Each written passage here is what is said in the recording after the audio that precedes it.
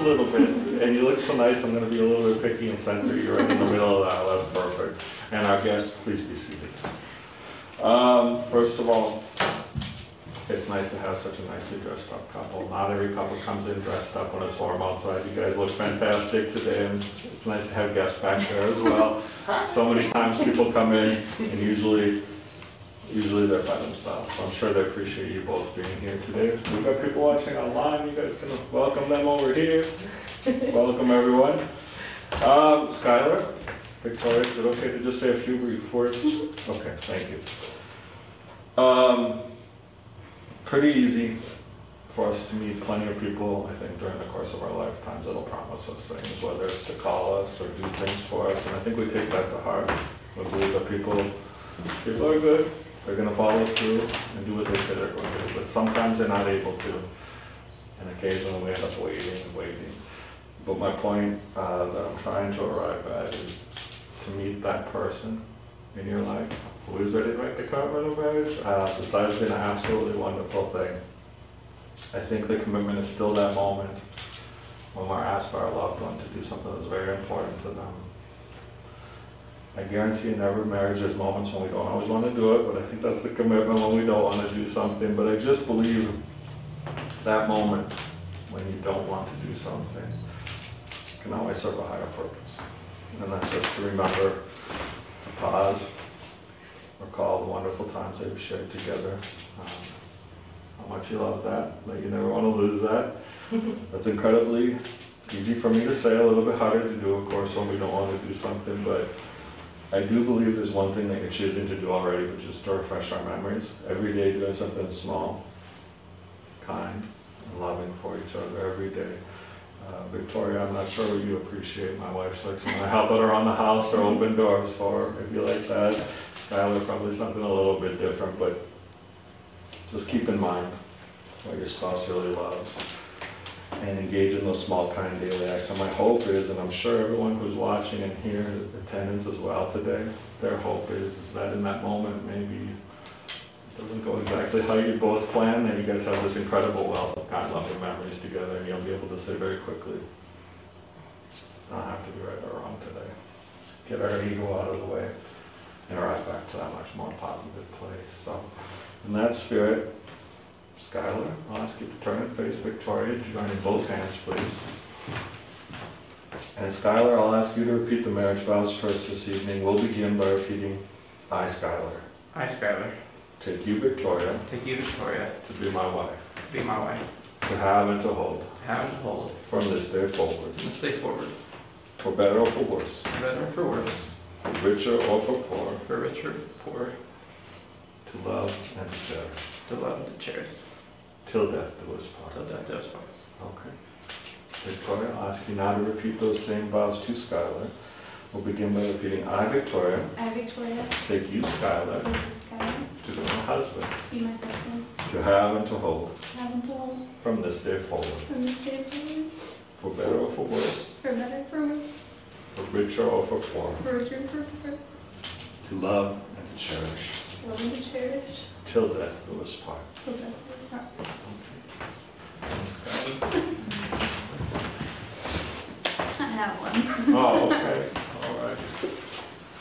Well, Skilar needed one, so we're good. All right. Uh, Victoria, I'll take your book here if I could for just a moment. Thank you. She has the pen. Okay. And Skilar, you have a ring for her?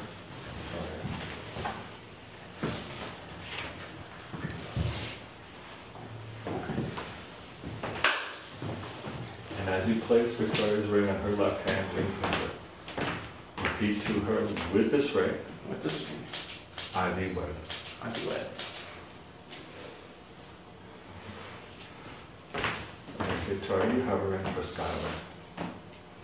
And as you place his ring on his left hand ring finger, if you repeat to him with this ring, With this ring, I thee wed. I do it. And I'll ask you both to step right here in front of the candles.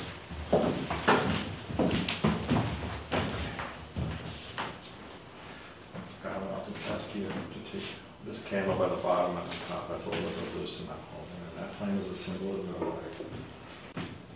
Torah as a symbol of your life. And I'll ask you both to light the unity candle together in celebration the married life you'll now share together, united as one with your marriage and your family. So hold on just a little bit longer. Sorry. On your birthday. so, uh, Skilar, if you'll place your arm, take your time, right around Victoria's waist, a nice bonds for you. One, two, one, one, one. Okay, I'll take that.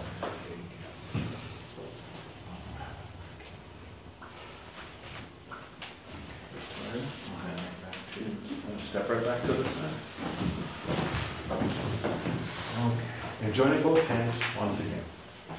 Uh, Skilar, you certainly traveled a long way to say your marriage vows this evening. Before I pronounce you as husband and wife, if you'd like, did you have anything maybe you'd like to say to Victoria? Okay, I will leave it here. Okay, Victoria, do you have anything you'd like to say to Skilar? No? Okay. So, those who now join together, let no man put asunder, for as much as you have consented before God and all of our witnesses watching today, I'm very happy to pronounce you husband and wife. And Skilar, you may now kiss your wife. I can deal with it. All right.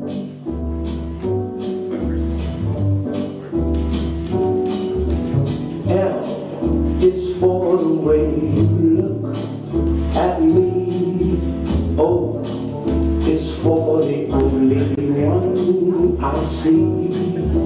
V is very, very extraordinary.